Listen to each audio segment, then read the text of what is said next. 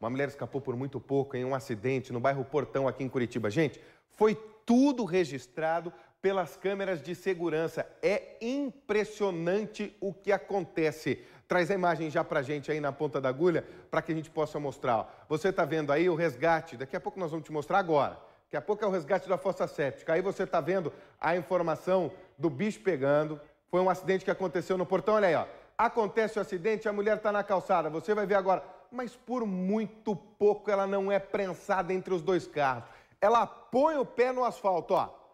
Põe o pé no asfalto quando de repente acontece o acidente. O carro ainda acaba virando, né? Não chega a capotar, ele só emborca, ele só vira, não chega a ter o capotamento ali, mas a mulher, por um tris, não é prensada entre os dois carros que estavam ali estacionados na beira da calçada. Depois, amiga, a perplexidade, ela fica em estado de choque, senta na calçada, é claro, já pega o celular para avisar as pessoas daquilo que estava acontecendo. Olha aí o momento de novo, ela vai atravessar e acaba sendo atropelada. Isso aconteceu durante o dia aqui em Curitiba, num dos grandes bairros da capital do estado do Paraná, que é o bairro Portão. Impressionante, né?